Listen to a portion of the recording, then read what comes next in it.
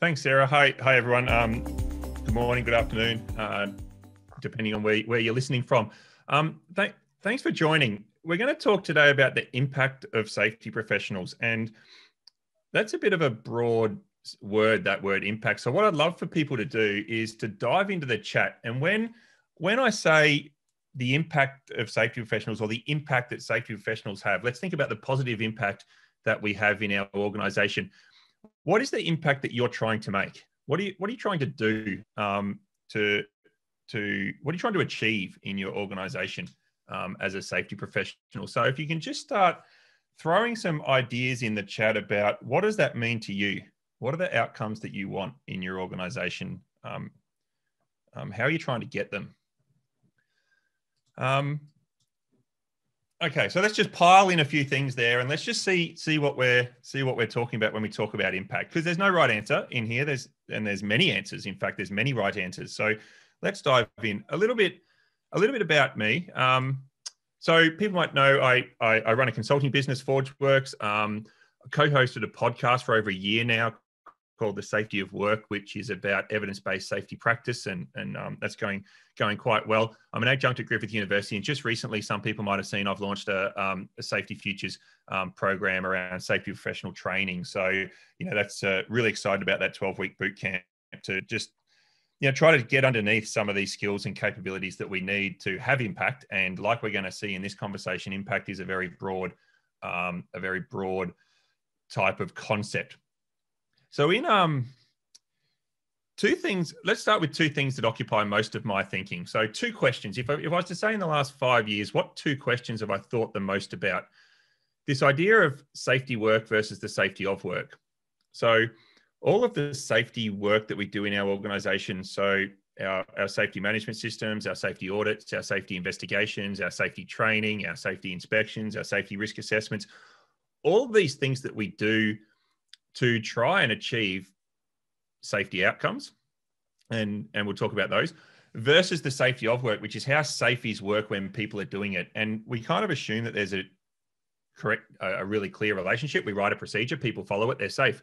Or we do an audit, we fix a few problems, then they're safe. Uh, we do a toolbox talk, then um, people know how to be safe. And or we do a risk assessment before a job, and that identifies and resolves everything, and people go on to be safe. So, so that's occupied a lot, occupied a lot of my thinking. And the only thing I'd stop and ask people to briefly reflect on is, um, think of all those things I've just mentioned, and think of all the things that you do in your organization to manage safety. Sitting from where you are as a safety professional, all the things that you rely on, all the levers you've got to pull, and then think about outside of work how you how you manage safety for yourself and your family and your friends. So, do you do you do a vehicle pre-use inspection before you hop in the car to drive down the shops? Do you sit down with your kids and do a JSA form before you take them out on a bike ride?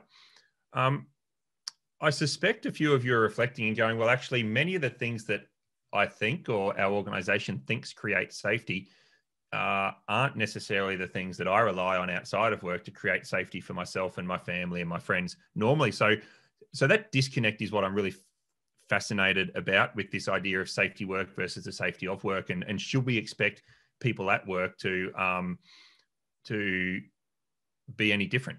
Um, and so these ideas of safety clutter have come into that as people would be familiar with. But most importantly for me um, is the second question, that question of what is the role of the safety professional? And people who know me will know that that's all I've ever done um, in my career. Um, I've worked in many industries at many levels of organizations.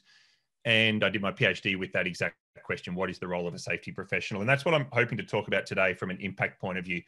So, just to have a look, little bit of a look through um, some of the chat. So, influencer culture, fewer injuries, educate, culture, role model, reduce risk, um, better operational learning, um, make safety part of the normal conversation, the way we do business, buy in from senior management, self actualization, um, so all these things, open-minded thoughts and actions, be an educator. So there's a few themes in there about reducing risk and therefore injuries, educating, um, integrating safety in the way that we do work, um, and getting engagement from people, getting engagement from management around safety. So all really important things and how we have impact. Now, in about two, in I think 2015, um, David Borys did a study on the value proposition of the OHS professional, and it's worth a read. Um, he, uh, I think it's actually called, you know, the value proposition of the OHS professional, um, and and he looked at all of a whole lot of studies that looked at the impact or the influence on on safety professionals with other things, other things that were measurable in the organization. And interestingly, there's only been two studies that have shown a relationship between either the numbers of safety professionals in a company or the fact that safe of companies do have safety professionals and um, a reduction in injuries. So for all of the tens, maybe maybe millions or tens of millions of safety people that there are in the profession around the world, we actually don't know very well what this direct connection is between the safety person in a business and the injury rate or the incident rate that people happen. Now that's not surprise. That's actually not surprising. The more that I've thought about it and looked into it, it's not surprising because you know, all the things that we talked about of the things that we could impact in the chat that you guys have just dropped in there, they're things that come between the safety professional and the injury. It's, you know, I'm going to influence engagement. So then people make better decisions. So then they have fewer injuries. So we've got these kind of steps that need to happen in our organization between the things that we do as a safety professional and, you know, the, the, the end outcome, which I think it'd be fair to say that we were all hoping to achieve in our organization, which is, you know, fewer significant or, or no um, serious injuries or fatalities.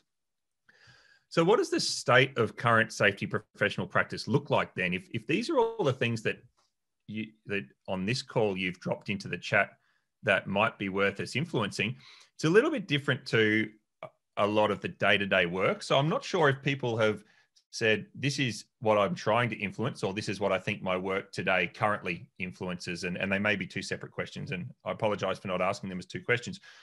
But in my in my research, where I followed um, a bunch of safety professionals for six or seven months and and talk, here's just one quote of many that, that sort of talks about. Well, I'll read it out. Risk assessments at the end of the day, in my view, they're a bit like you work backwards from whatever outcome your management manager wants. That's just the reality of it. So this idea that um, that management that, that we're there to serve management, we're there to help management deliver on management's objectives, and we're there to put in place safety processes, safety practices, safety training, safety things to to um, help help our managers get what they need. And and what I want to do now is I just want to go backwards before we go forwards, before we can talk about the impact that we're having. And, and I'm going to go through sort of eight ways to to increase impact and talk a little bit about those.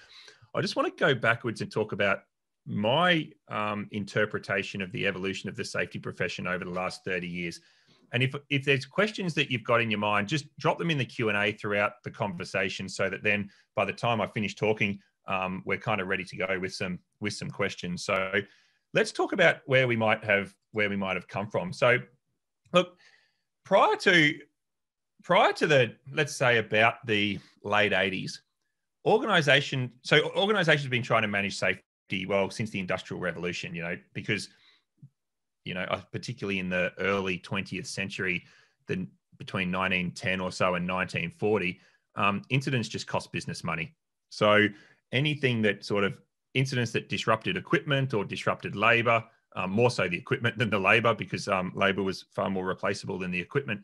Um, organizations started to get interested in in um, in safety management, and we saw that, and, and and there was dedicated safety roles that can be traced back to you know over 100 years ago within organizations. But up until about the mid 80s, they were largely what I'd describe as like a safety technician.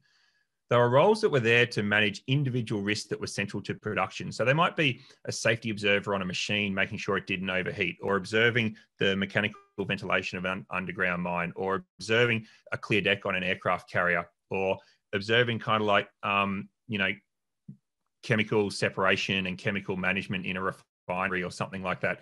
So these roles were there because if they weren't there and something went wrong for safety, there'd be a significant production impact. Um, and that was to be avoided. So there was full-time safety technician type roles. Now, what kind of happened in the in the 80s um, or through the 80s is we got this sort of confluence of a whole heap of um, a whole heap of disasters so we know we had Chernobyl, we had Challenger, we had Exxon Valdez, we had Piper Alpha, we had Japan Airlines one, two, three. We had all of these. Um, almost every um, major industry um, was left was no major industry was left unscathed through um, the mid the mid 80s.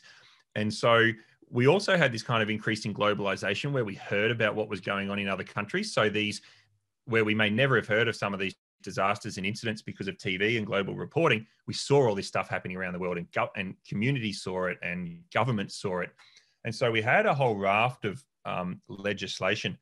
Um, and I suppose if I get to Australia at this point in time, um, we had a whole, basically it all poured out from, I think, the late 80s with the Commonwealth Act through all of the states in the early to mid 90s.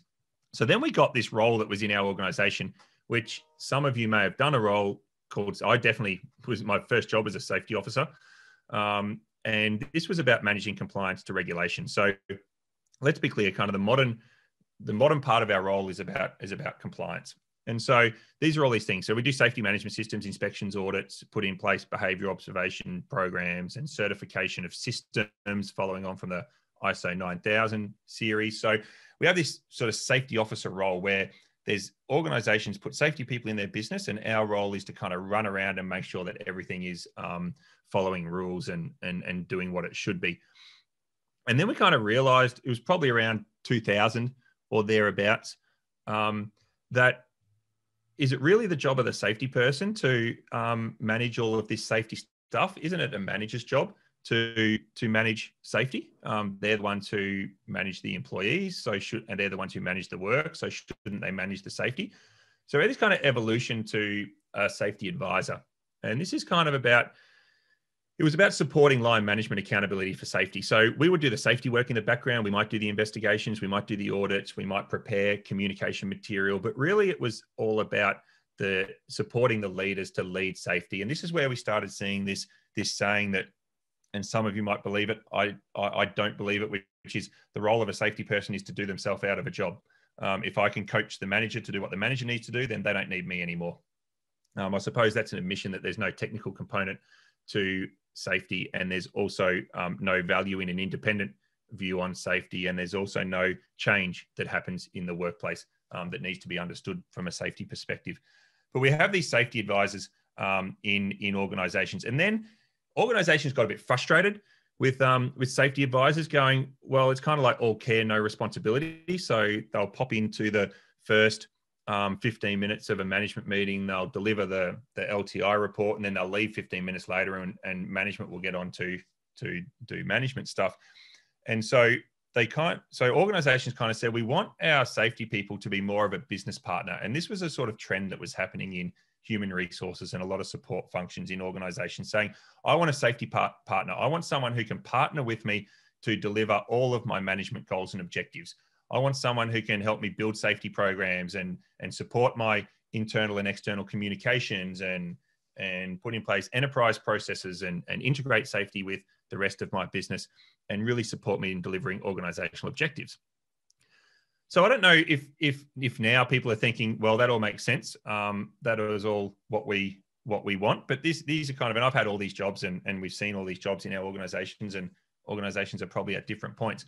But then the questions asked, I suppose, with safety, at least during my research, my conclusion was that you're still talking about safety, and and much of the work is still on the sidelines of the business. Much of the work is is fragmented and isolated from the way that core operations run.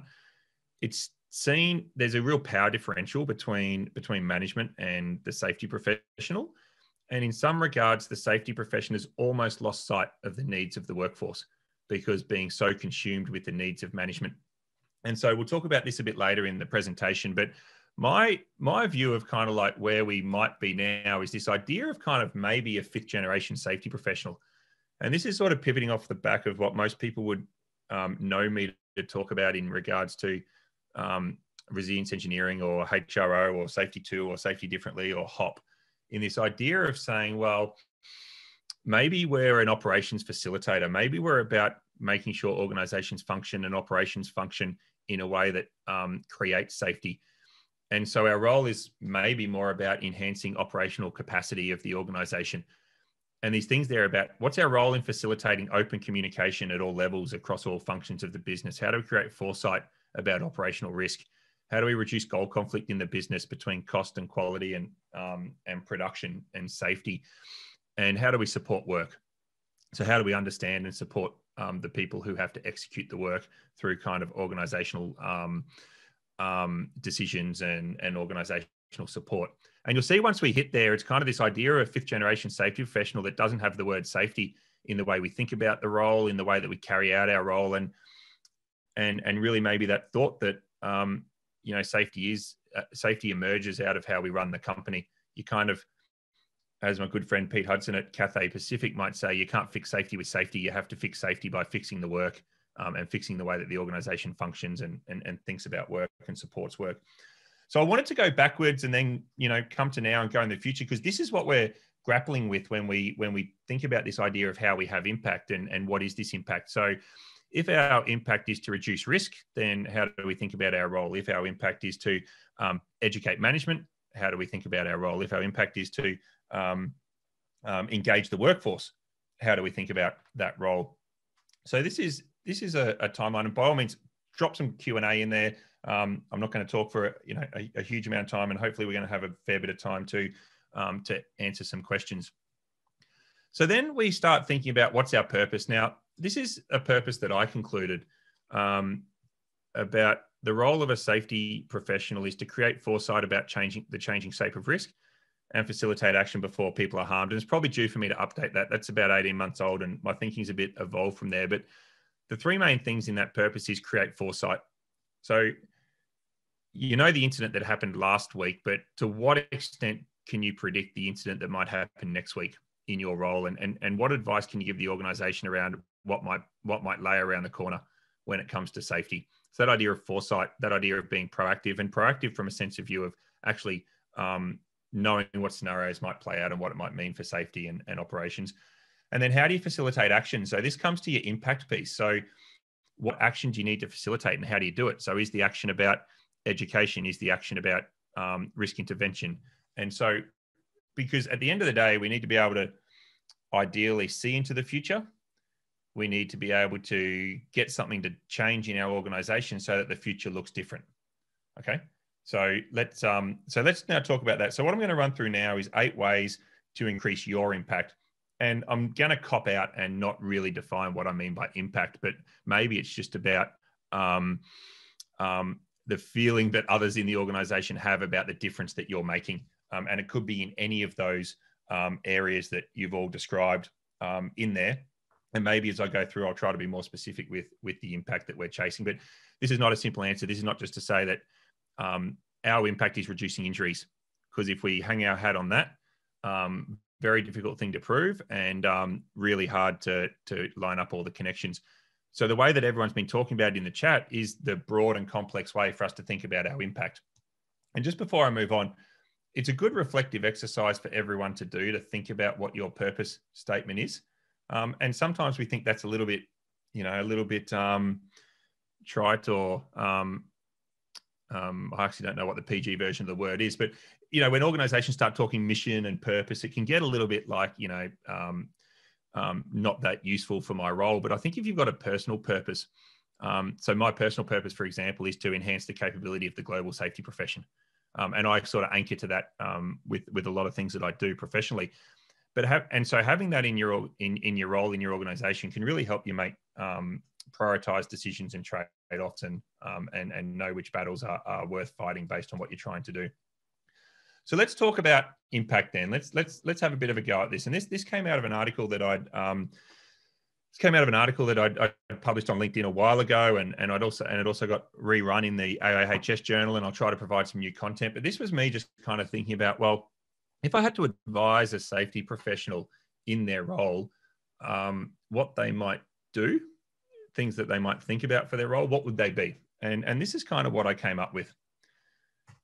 So the first way to increase your impact is probably going to be by being obsessed about the work and not about the safety processes. So the safety processes are, are kind of just that. So, so the safety audits, the safety procedures, the safety management systems, the safety reports that need to happen, whether the actions are being closed out, whether leaders have done what leaders are supposed to do. All that stuff is fine and it kind of has to happen in the organization efficiently and kind of has to happen in the background. But if your decision has to be, which is that um, there's something going on, on on one of my sites that um, I uh, could be an emerging issue around something, but I've got this report that's due to my manager by the end of today. You know, what I'm saying is is really um, being obsessed about people's work, understanding people's work, thinking about the safety of the work before we think about doing our safety work has kind of got to be one of our priorities. And it's going to be ways to increase your impact because I think at the end of the day, if you have the open conversation with a manager, if you have you know the open conversation with a group of workers, a conversation with the board, if you ask the question of, you know, do you want me to understand the work that people are doing today and what they need from the organization to support them and to jump on top of any emerging um, insights or weak signals in the business? Or do you want me to make sure I keep running this schedule of, of audits and make sure the investigation gets done in 28 days and make sure this report comes through? I kind of guarantee, um, probably hang my hat, that 99.9% of people who you have that open, pragmatic conversation with They're going to say, focus on the work, focus on the needs of the people, focus on what's emerging in the business. Um, so that's what I'd say about be obsessed with the work, not your safety processes, and never trade off um, emerging issues in the business around safety for your pre-planned safety activities. Always show that you understand and care about people is sort of number two. So um, safety is first and foremost a people game. Um, if you don't like people or if you're not a people person, then you are in the wrong profession. If you want an easy job, you're in the wrong profession. Um, but I posted something on actually coincidentally on LinkedIn the other day about building relationships and creating influence. And and the quote, um, I think it was an original Roosevelt quote, which was um, that people don't care how much you know until they know how much you care. And if you're going to have influence um, over people, in in your organization um, it boils down to three questions that they're asking themselves when you're trying to influence them. The first person the first question is is probably okay which is um oh they're all okay but the first question is does this person know what they're talking about? And if you're a safety person and you're talking about safety stuff then you know the first question is probably okay. Does this person know what they're talking about?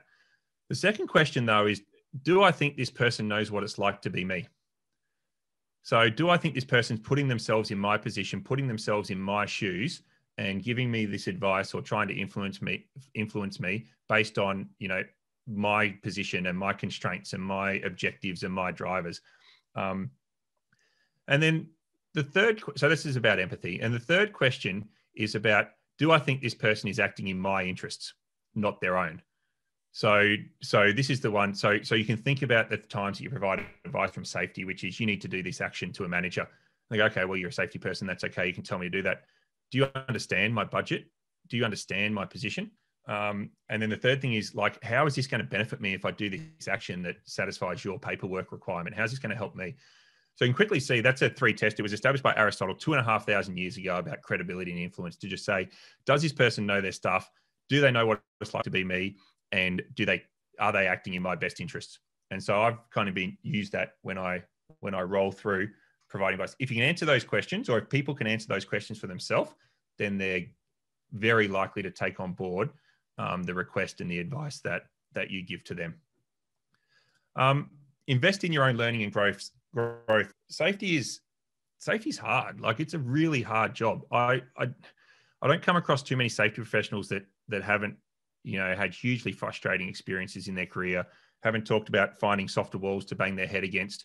There was a um, there was a article that was done on a group of French professionals, and the researchers actually stopped the um, research in the middle. They were asking questions about the ability to influence, and there was responses like only eight percent of so the safety professionals felt confident in having discussions um, with senior management.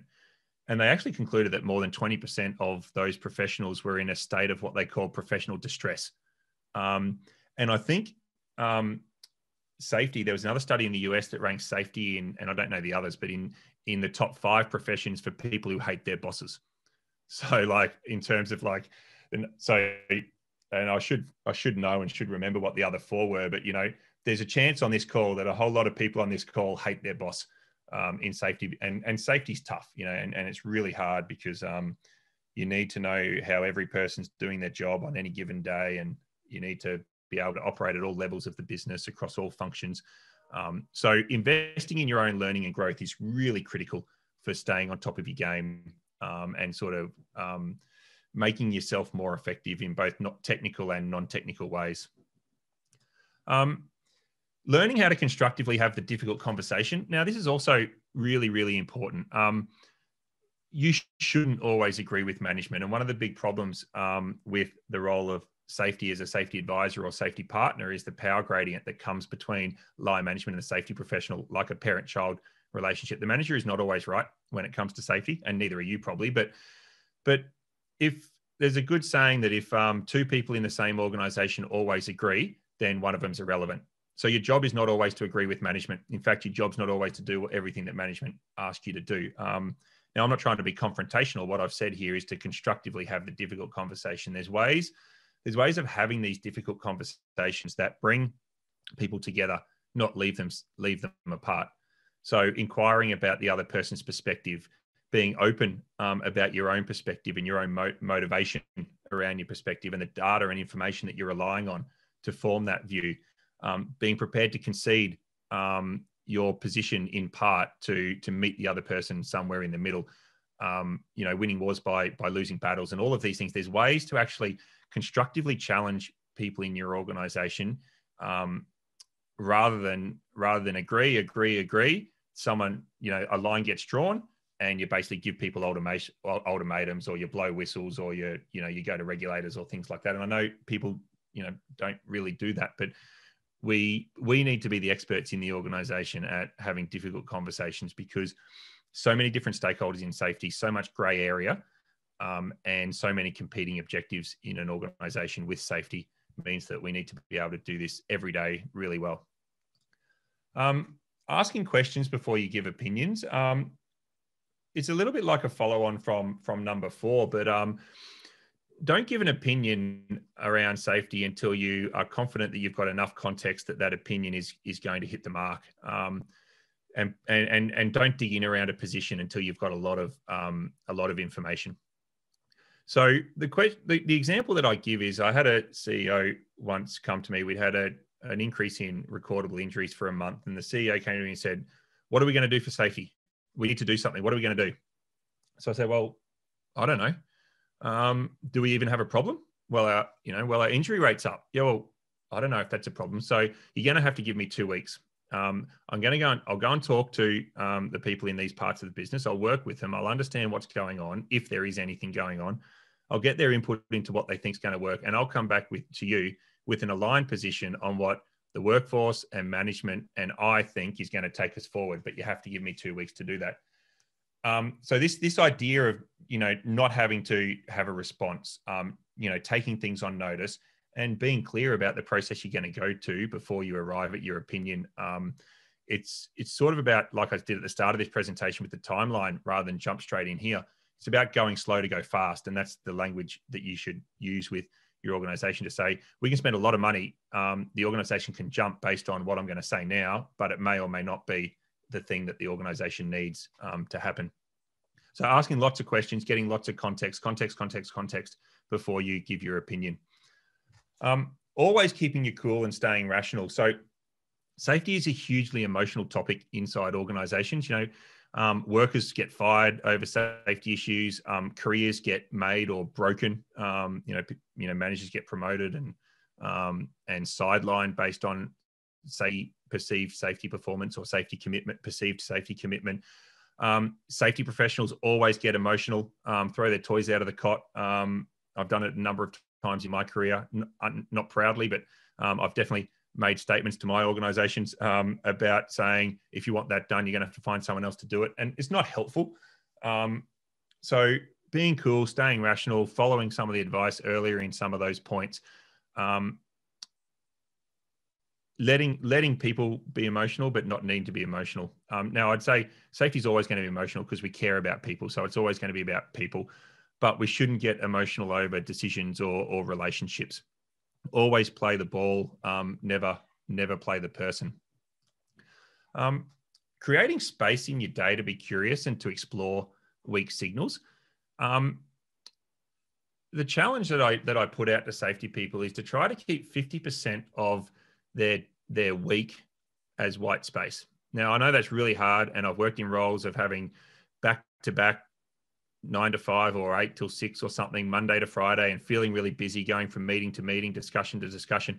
But the whole organization is functioning out there um, with people at the point of risk, and and and me running 40 hours a week in and out of different types of meetings, disconnected from the reality of what's going on in the operation. So this this space to be directly connected to what's happening in real time in your organization. And this includes everything to building relationships, having coffees with managers, finding out what's on people's plates, finding out what new um, challenges are, are arising in the business.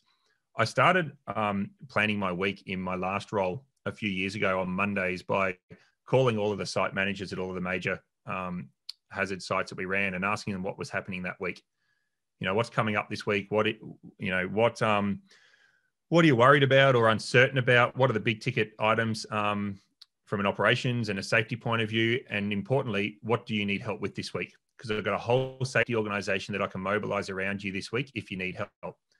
And people might say, well, that's being in the weeds. That's not being very proactive. But I'd probably counter that and say, well, I think that's ultimately proactive in terms of understanding the needs of your people today, tomorrow, for the rest of the week, and trying to rally your, or mobilize your organization's resources around supporting them. So you've got to have space to do that. You you can't just ring a manager and say, "Hey, how can I help you this week?" And they say, "Oh, I'd really love you to come to site, or I'd really love you to look at this on Thursday when we're doing this activity," um, and say, "Oh, sorry, I'm, I've got meetings all day Thursday. I can't move that." Um, that sort of cycles you back up to point number one. And then number eight um, is it's fine for us to sit here as a group of safety um, professionals and you know 98 people most of whom i assume on the call are going to be safety professionals. And think about okay this is great. I, I, I sort of think this is the way that i can do my role. Um, i've got to kind of you know change where my priorities are. I've got to i've got to you know do these things.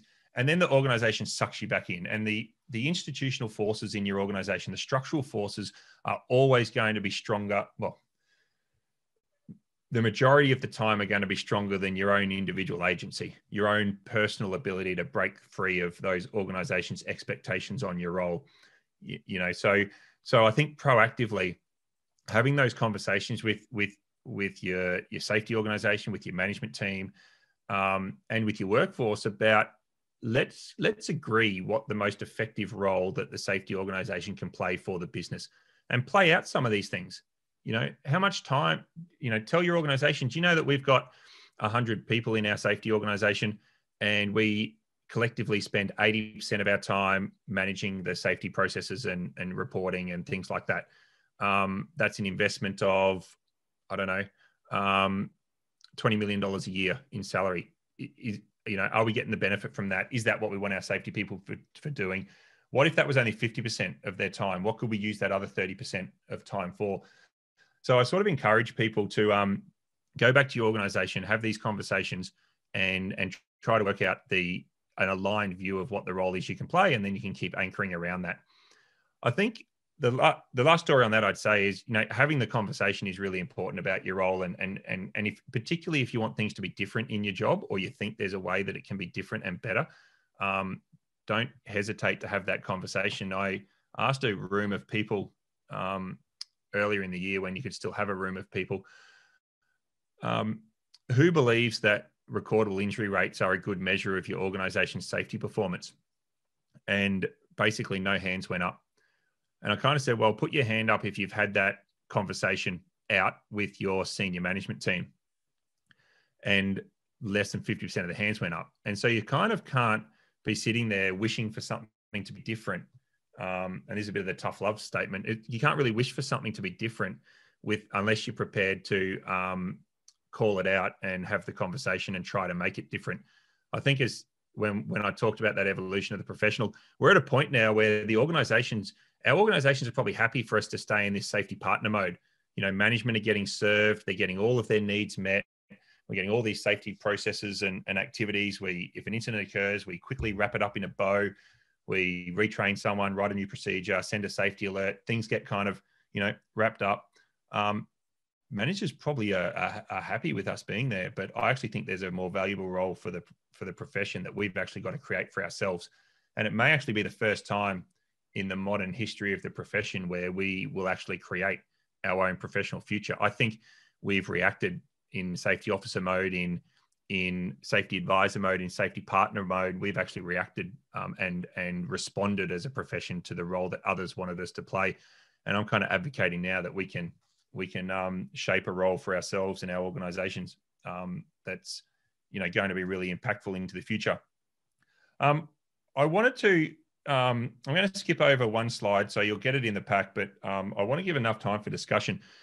So I want to leave sort of three key three key takeaways before I jump in jump into Q and A. Um, and these are just these are open questions. You may or may not agree with these, but they're just sort of reflection points. The first would be that, you know, at the moment in a number of our organizations, we see the management as our customer.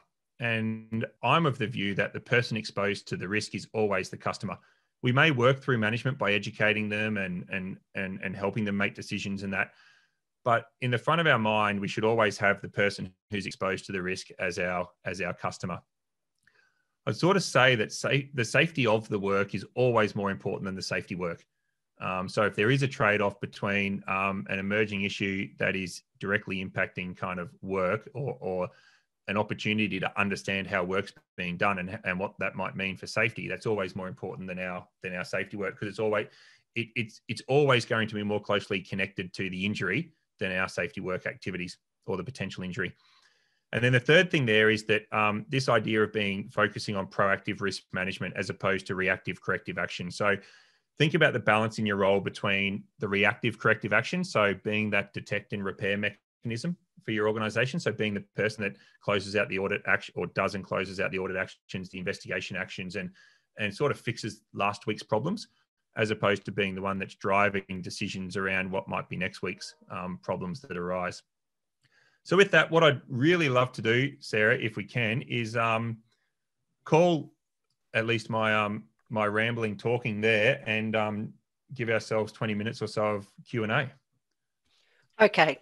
Can you hear me? Yes, I can. Oh, good, because my my microphone was confusing me. All right, so Rob is the first question. And he said uh, something I've heard discussed with operational construction managers, with a lot of new entrants to the safety profession now seemingly coming from the tertiary university pathway. How credible are they to provide operational advice if they've not come from an operational industry background? And how do these people therefore make meaningful impact? Yeah, that's a great question, Rob. Um, and one that's worthy of a very long end. That could almost be a be a webinar of its of its own. Look, I think um I think it's a balance. We've got a balance of people, tertiary entry safety professionals and um, and operational experience safety professionals.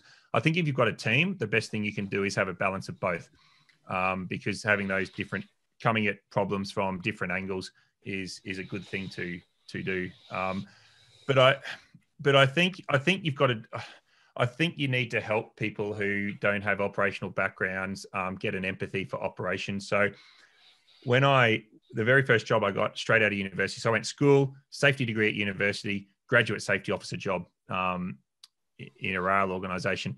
And my manager there, this was 20 years ago, my, he said, for my first four weeks, my target was spend 35 hours a week in the field and report back on who I'd um, met, what I'd learnt about work. And that was on the basis of I don't care about your qualifications. If you don't understand the work that we do and you don't have good relationships, then you are no good to me. Um, All right.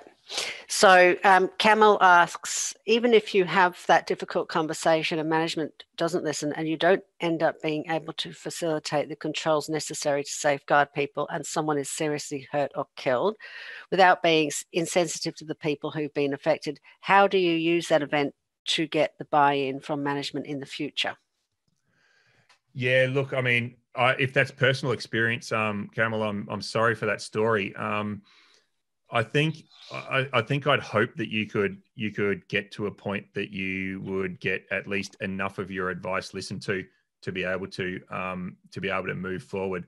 Um, so so, but assuming that the outcome has happened the way that you said, um, I think you, there's got to be some kind of meeting of the minds um, because obviously you've seen something that you haven't been able to explain to the manager or you haven't been able to present in a way that the manager has been able to see it as clearly as you as you've been able to see it. So I would almost approach that quite humbly and and almost almost because the manager is going to be you know, hugely defensive and hugely challenged. I'd almost use it as an opportunity to build the relationship by saying, look, I'm sorry, I, am sorry I couldn't help you um, get to that decision. Um, there must have been something in what I was seeing that you weren't able to see because of the way I was providing you that information, and almost come to some kind of agreement about how you're going to communicate and interact around these difficult conversations in the future. So hopefully, asking them to be more open-minded and and and just you know saying things like, when I bring you something so strongly as I brought it to you this time, I'll only do that when I am you know, in my professional opinion, really convinced that you need to act. And what I'm hoping of you is when I do do that, um, you'll be very open minded about why I'm, you know, taking that position. So I, I, I think the only way to do that is to basically use it as this way to um to to lean in and and and publicly accept that your 50% of the relationship wasn't able to get the decision made as much as the other person's 50% relationship and and and try to make a plan to move forward. So Greg says asks, what shape do you see this new emerging role taking? Look, I can send around a paper. There's actually probably the best thing for Greg to do, um, and I know a Greg Cameron. I don't know if it's the same Greg. Um, so probably the best thing to do is go to the back catalogue of Myosh um, webinars. And Sarah, you might be able to put this in in in some way, link it to because I did a whole webinar on the the emerging role of the safety profession. Um, well, six months ago or nine, a while ago. But maybe Sarah, if you know the one that I'm talking to, we can we can drop that in a link to this one as well. Yeah, we'll find it and have a look right now while you're talking. Okay. So, um, Britta asked in the last three key takeaways, are your customers also your worker? So, if you're okay, so when I talk about the person exposed to the risk is is is the customer, I mean the workforce or the people doing the dangerous work or the people who are using your products or or um, you know but if you're a manager then you know obviously um, obviously that your workers are are your customer too. So look i think i think what i'm trying to do there in that statement is people have we formed a fairly myopic view that our role is to support line management um, our role is to advise line management. And i'm just i'm trying to call out there that there's a broader customer base that we need to have in our considerations around our decisions every day and, and where we spend our time. All right, I have that link. Um, just let me pop it in the chat. Um, hang on, I'll start with the next question. Um, Stuart says, how do you overcome operational ambivalence to safety? Look, um, I, I don't, I suppose there's, Stuart, I think, I mean, there might be, I mean, I suppose it's, it's a small question in the chat, but um, I, maybe maybe a disconnection would an operational disconnection might be better than ambivalence. Like I think I'd hope that people don't try and hurt their, hurt themselves. So I think what I try and do is be curious around where that connection is breaking down between how how you and the organization think about safety and how people in the operations, maybe frontline management or workers, think about it. Either you're seeing important things that they're not seeing as important in terms of creating safety, or they they're, they're lacking education or awareness. So I think that's a great basis to have, you know, something like a learning team conversation and, and that, and, you know, asking them questions about what they rely on to keep themselves safe, what the organization could do to support them better. Um, and and start to probe around these this perception that you're seeing call, like asking them about you know we see this you know we see you guys not um not following this process very often is there a problem you know like can we improve it so i just think it's a great if that's what you're seeing i think it's a great opportunity to um, lean in. And maybe that's like that other question um, as well, post, you know, about post difficult conversation is always look for the opportunity to lean in. Um, and like I say, stay rational, unemotional, and um, you'll build strong relationships by these observ- by observing these things and then leaning into them.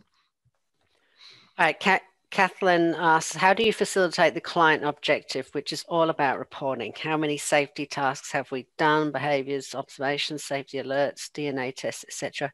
How many incidents have we had, etc.? To me, this is the noise that defocuses on what we need to be doing, that is shifting culture, empowering others to be safety leaders, etc. Look, I think, um, Kathleen, I'd um, and talk to a few contracting organisations about this. Um, there's a few options. You can either um, do what your client wants and and run that in your own organization you can run like a two speed safety program where you prepare and deliver the information the client wants but then you run a parallel program in your own organization. So you might have to send all these tasks and observations and alerts and DNA tests to your client, but you use something different to facilitate the safety conversation in your own organization.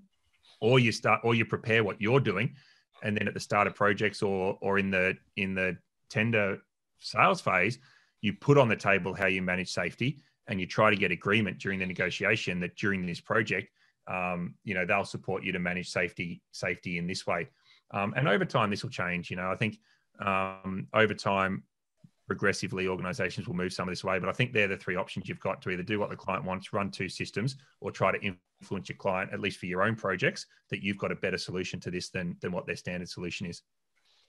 So, anonymous person asks, I work, I work at a company that has very low HSC maturity. I have spent three years trying to change this, but the sales focus is overwhelming. Any advice to start getting the business to own safety more and not focus so much on sales? Look, I mean, the business is always going to focus on sales and project delivery because that's its core business. So the question that you, I suppose, need to do is how you start making safety relevant to um, to sales and execution. So, you know, for example, um, I, I, suppose start integrating the process. So, if I understand the question um, or the con- the organizational context right around this question, um, people are seeing safety. People will be seeing safety as a cost. So you're going to need to try to show them the return um, on on safety, or at least make anything you're trying to do in the safety space relatively low cost and and and easy to explain what the benefit is, and then starting to try to provide support into the sales and project execution process. So starting to say, look, if we don't um, know what we're doing for safety, then we don't know how to cost it, so we don't know how to sell it, so we don't know how to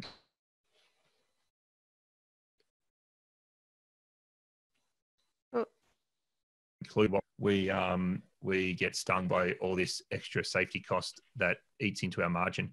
Um, so I think that um, I don't without knowing if it's a product business or a service business or exactly the stage of maturity, it's hard to give you any more specific advice. But um, I think um, yeah, three years is a long time to be trying to yeah get get kind of a start. So feel free to contact me offline if you like. Drop me a note on LinkedIn, um, and if you can give me some more specifics one on one, I'll give you my thoughts.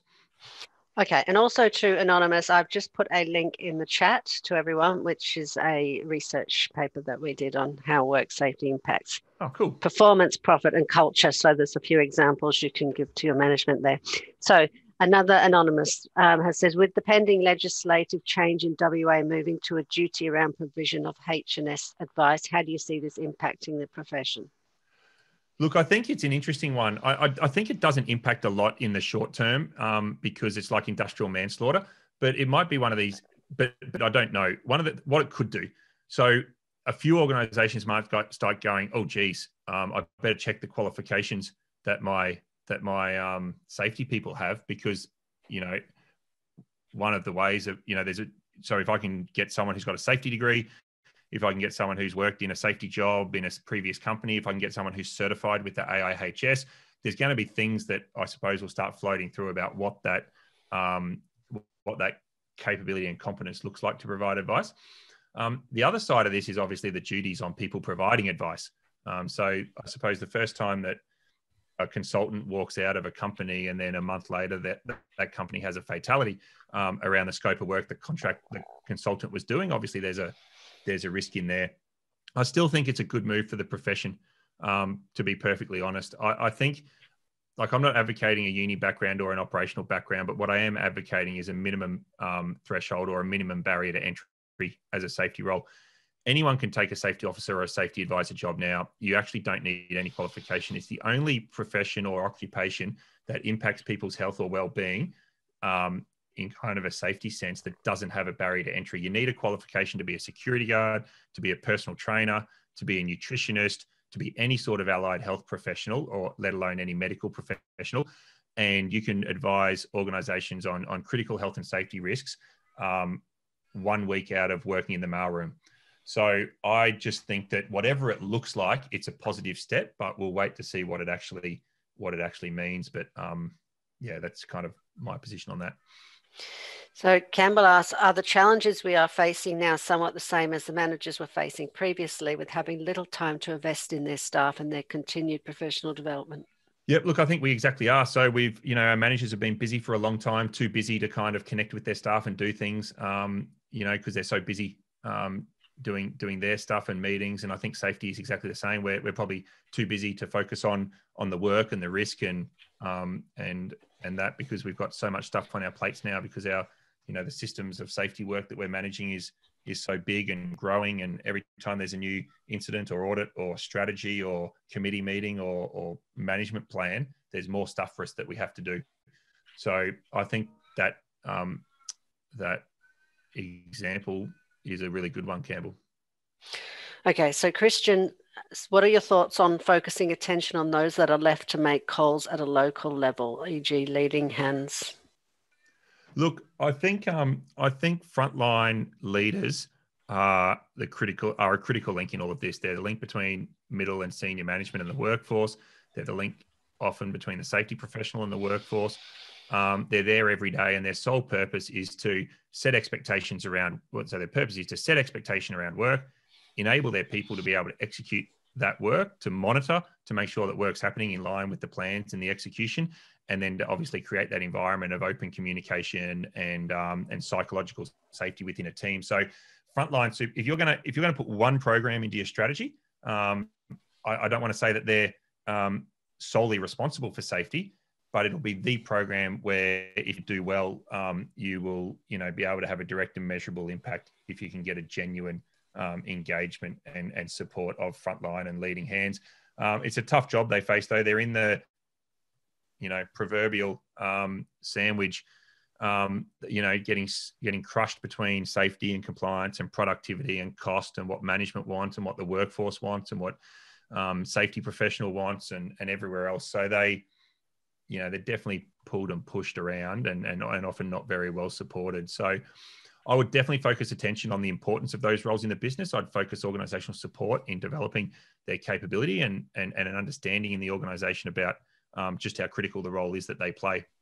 Um, definitely. So Campbell says, with re- with respect to risk management, which do you think is a more important conversation: critical risk at the front end or residual risk at the back end? Um, great. Yeah. Okay. Um, good. Good question. So, um, probably critical risk at the front end. Um, they're both, but I, I, okay, let's say both. Can I say both? So critical risk at the front end is really important um, to know kind of what what what could happen in your business, um, and residual risk kind of assumes that um, makes a whole lot more assumptions than the critical risk.